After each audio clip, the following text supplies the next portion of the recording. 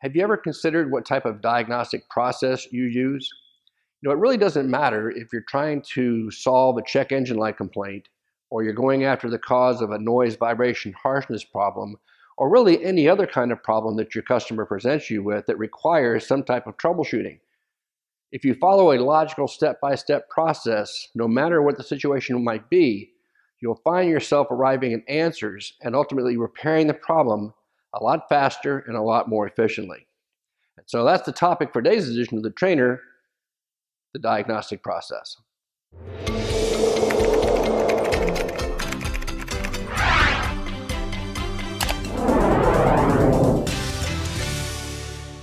You know, I've heard the diagnostic process uh, explained by some top instructors in a variety of ways, but they all tend to follow a similar outline, a similar progression, if you will. So let's follow along and let me see if I can share with you my concept of a diagnostic process and how you can apply that to the troubleshooting situations that you face. And then we'll continue building on this uh, series that we're doing, ultimately to help you solve more of those drivability complaints that your customers are bringing you. So let's start with step one. Let's all think of this as, as being detectives, and we're at this, and we're trying to solve a crime. The crime is that problem that the customer has presented us with, that uh, whatever is causing the car to act up in a way that we don't like and the customer doesn't like. Again, we could be a check engine light that's on, the car's not running properly, maybe it's got a noise, maybe it's got a harsh ride, whatever the case might be, we can apply these steps to solving that crime, solving that problem, finding out who that perpetrator is. So let's think of those kind of terms as we go forward. First step is determine what crime has actually been committed. You know, a lot of times people will see something happen and they will go back to report it to the authorities and they'll all have different versions of what it was that occurred. So we don't really know exactly what type of crime has been committed yet, right? We don't know exactly what type of problem that we're looking to tra track down. So the very first thing we want to do is verify that customer's complaint. We want to spend time talking to the customer or have our service advisor talk to that customer and find out exactly what it is that you're concerned about. What exactly is the complaint that you're bringing to us to repair? Very important to interview the customer, get as much information as you can, and get the information from the driver of the car. You know, all too often, uh, say uh, the husband's going to work, so he has the wife drop off the car to have something looked at, but the wife doesn't drive her husband's car. She drives her car. So she's not used to exactly what that problem is or what the symptoms might be. You've got to talk to the person who's experienced the problem. This would be just like standing in front of Judge Judy and getting that secondhand information, right? That's information, that's testimony we can't allow into court because it's hearsay. There's no practice, they don't know for themselves what the facts are. So you got to talk to the person who drives the car. If necessary, then we're going to go drive the car. We're going to try to see if we can duplicate the conditions under which this customer is complaining about this problem. It may just be that the check engine light's on, so it's going to be a short test drive, but if we're dealing with some type of a ride quality issue, then we need to duplicate that, that issue. Where's that problem occurring? Is it low speeds? Is it in turns? Is it cruising? Whatever the case might be. And then, of course, if we're dealing with a, a drivability complaint, then we want to check for codes. Uh, we want to see exactly what the computer is telling us, and that's a pretty good witness because that's the one doing the test, right? We talked about that early in the series. That ultimately, if we're dealing with that check engine light complaint, that ultimately is the individual that we have to satisfy. That's going to be our jury that we're going to have to provide our evidence to and correct that problem to make sure that, that indeed it's fixed because the jury is going to tell us whether we got that correct or not, right? The ECM. All right, so let's move on to step two. Now it's time as good investigators to gather evidence about whatever concern we've now isolated what we're tackling, what we're going after. Again, starts with that customer interview. Same time that process is going on, we're going to try to pull as much information from the customer as we can about the circumstances surrounding when they uh, feel that complaint, when it's a concern for them. Test drive is also part of that gathering evidence. It's not just to verify the complaint, but it's also to get a feel for ourselves when that problem is occurring so that as we go through the repair process, we can duplicate that complaint, we can duplicate that concern, and ultimately verify that we fixed it. Visual inspections, one of the first things that I do when the vehicle comes back into the bay. I like to look at it all from stem to stern, under the hood, under the car, what kind of shape are the tires in, what kind of shape is the oil in, and what I'm looking for is how well does this person take care of the car? because there are a lot of things that come along or problems that come along that are just caused by lack of maintenance or abuse or neglect. So I'm going to get a feel. Is this someone that, that takes very good care of their car? Their car is immaculate, or has this thing not seen an oil change since the day it left the showroom floor? You know, you're with me. You guys have seen it every single day in your shops. I want to get a feel for that. I also want to look for anything obvious. Uh, is there hoses unplugged? Is there signs of wiring damage? Uh, is the harness too tight in areas? Little things like this that are all kind of focused on the evidence I'm trying to collect for the crime that I'm investigating. You with me? So these are some of the things you're going to look at. If I'm dealing with a noise, vibration, harshness issue, what kind of shape are the tires in? What kind of shape is the, the suspension and, and uh, steering components in? These are all things where I'm going to focus on the visual inspection. If I am going after, excuse me, if I am going after a check engine light, then absolutely I need to check the freeze frame data. Uh, we talked about this as well when we went through the modes of OBD2 if I'm dealing with a continuous monitor, that's misfire, fuel, and comprehensive component, it's critical that I understand the conditions under which that problem was seen by the control module, by the engine control module. Was that misfire occurring at idle? Was it at cruise? Was it under load? Was it uh, just coming downhill? Whatever the case might be, cold, hot, uh, what speeds, what RPM. These are all little bits of information that I want. And remember what I said before, when I go to pull those codes early on, I'm not erasing anything. I'm not clearing anything because I'm going to wipe out a lot of information that I still need. Uh, as my friend G. Truglia says, that's like pouring bleach on the crime scene. Once I hit that key and clear that code, I'm going to wipe out the freeze frame. I'm going to reset monitors. I'm going to clear out a lot of information that I might need. So I'm going to pull that out first, and then I'm going to snapshot it, print it, take a picture of it with my camera, whatever I need to do to preserve that evidence for later use, right? And then finally, sometimes I'll go into mode six, depends on what it is that I'm looking for. It might be a catalytic converter issue. It might be a misfire issue on, uh, say, pre-can Fords or even some of the later model, uh, any CAN vehicle. I might go there for information. But again, at this stage, I'm trying to look for as much as I can get. I'm leaving no stone unturned, pulling all that evidence together so that when I uh, get that all done, I can sit back and review it all and start making some conclusions, which leads me to step three. I'm going to research the facts next. Now that I have all this evidence, I need to understand how they tie together. Uh, I want to make sure that I look at uh, any technical service bulletins that might have been released by the factory. That's one of the very first places that I go. Anything that's similar. But let me tell you something here. I'm not looking for a silver bullet. Uh, we all know there are pattern failures. We all know that there are common failures. Uh, but just because the vehicle that's in front of you today has the exact same symptoms as the last four before it doesn't mean that this is the fifth same fault. Yes, you can test for that, you can verify that, and then proceed with that. That's all part of the gathering evidence and researching the information. But don't just automatically shotgun that part at it because the last four cars use the same fix. That fifth one may not be on the same line. Um, I want to check and read up on system operation. I want to make sure that I'm very familiar with whatever systems that I'm going to be looking at, that I'm going to be troubleshooting. Uh, just because I'm familiar with Ford fuel systems, for uh, instance, doesn't mean that the Ford model in my bay today does it the same way that the Ford model did yesterday. And certainly, if it's a different brand altogether, nobody do does the same thing anymore. You have to make sure you understand how that system operates. Uh, I'm going to read up, if I find any codes, I'm going to read up on whatever the setting requirements and the enabling criteria for those codes are. What exactly does that ECM want to see before it records that fault, before it sets that code? What criteria is involved? What other codes are going to be suspended in their testing while this code is active?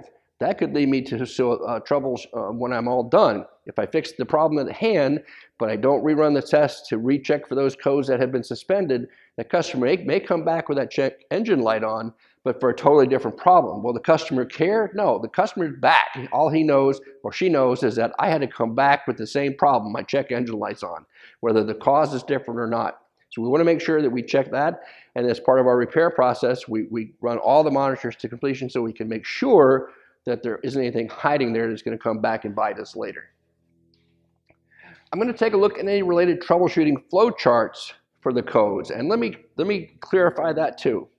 I'm not a big fan of flowcharts, not for use. And I'll tell you why. First, it's human nature to be in a hurry. We want to get things done. So sometimes we're going to make assumptions following that flow chart, don't we? And admit it, we've all done this. We start on step one, we do step two, but we've got three pages of trouble chart here. So we know that, oh, well, we, I know three is okay and four is okay and five is okay. I'm going to skip down to 10 and then proceed. And next thing you know, you've, you've jumped over the issue, you didn't catch it, and you complete the flow chart, and you still aren't any closer to solving the problem than you were when you started.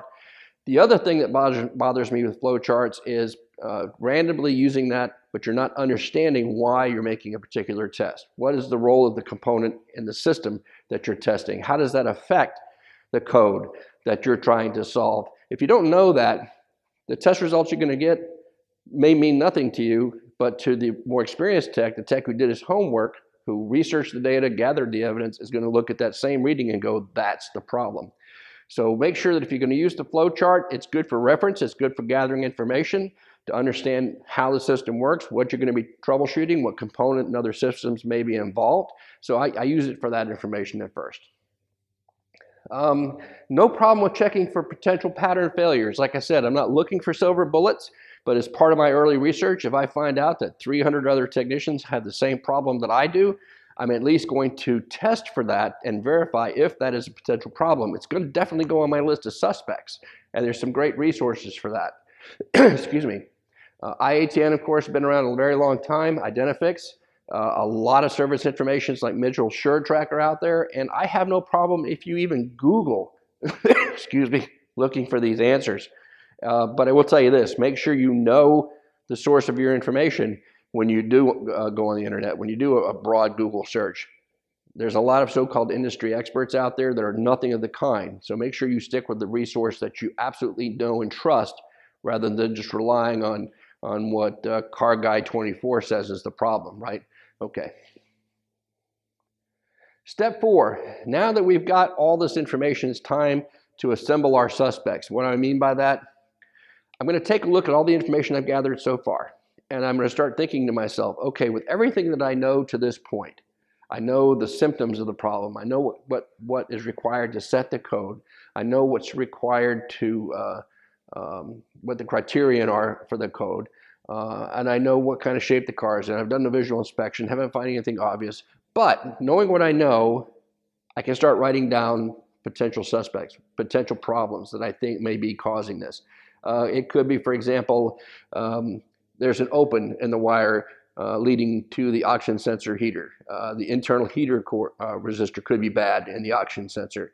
Um, there could be a vacuum leak. There could be a restriction in the exhaust. Whatever those things might be, again, dependent on the, the issue that you're trying to troubleshoot. And we're going to explore these in more detail as this series progresses and we actually uh, uh, progresses and we actually start looking at vehicles with specific problems to show you what I mean by this a little more clear but I hope you're getting what I'm saying here. I'm going to take the time to think, say, well, I know that if this misfire in cylinder number one is occurring, there's only, only so many things it could be. I could have a problem with ignition, I could have a problem with the compression, or I could have a problem with fuel going in that cylinder, right? So that's the three basics right there. So what I'm going to do there is I'm going to list these suspects, okay, for that misfire, ignition, compression, fuel. So I'm going to be able to go uh, next on to the next step and start testing to see which is which. Here's what I mean by step five begin eliminating those suspects. Back to the misfire example. I can perform a test that will tell me about the integrity of the ignition system, can't I? I can perform a test that will tell me about the integrity of the cylinder, can't I? I can perform a test that will tell me about the integrity of the fuel system to that affected cylinder. But the thing I want to do here is I want to pick a testing method that's going to allow me to eliminate as many suspects right off the bat as possible. Um, for example, um, a relative compression test can tell me a whole lot very quickly, uh, and it's a very quick test to make. Um, I could scope the ignition and see what the ignition pattern looks like. That can wipe out a whole lot of candidates uh, there alone.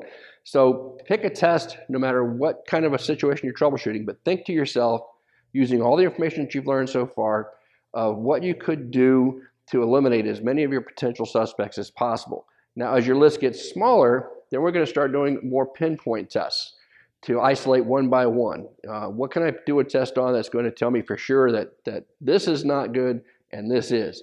You know, and, and you perform those pinpoint tests until finally you've got it narrowed down to one potential cause. Once you have it down to that one potential cause, do yourself a favor. One more test to verify that that is indeed the cause. Okay, once we have that cause identified, the next step's easy. We're going to go ahead and perform the repair. Uh, go ahead and take what we confirmed that we know is broken. We're going to fix that, and then we're going to verify by repeating those tests that that repair did indeed correct that problem.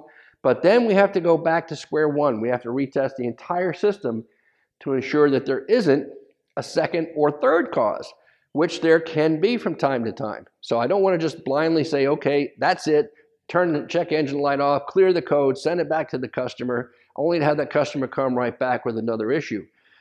Make sure that we uh, verify that we've repaired the problem we've identified, and then we've verified that there are no other causes for that problem.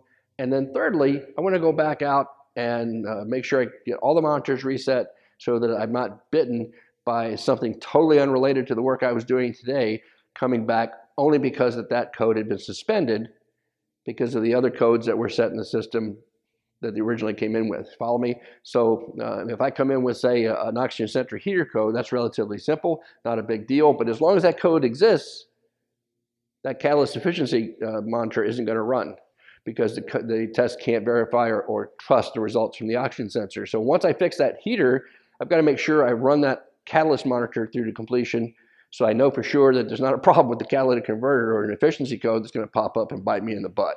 And that's just a very easy, very quick example. Again, when you look at these codes, you'll see as part of the description what other codes are going to be suspended uh, while that code is active, or vice versa. Sometimes they'll list it where it's like, okay, when, when uh, this code will not be checked if this code, this code, this code is already set. So make sure you follow that. all goes back to gathering the evidence. All right, so that's very quick. That's a very quick overview of the diagnostic process. This whole series, we've been building up our foundation for drivability diagnostics by starting with understanding how the ECM does what it does, what tools are available to us in global OBD2, and now we've gone over the diagnostic process. The next time we're going to get together, we're going to take a closer look at fuel trims. Fuel trims are not just about uh, tackling system lean and system rich codes. They can provide some very good diagnostic information and can be one of those general tests that we just talked about. So until next time, this is Pete Meier, Motor Age Magazine. Thanks for watching.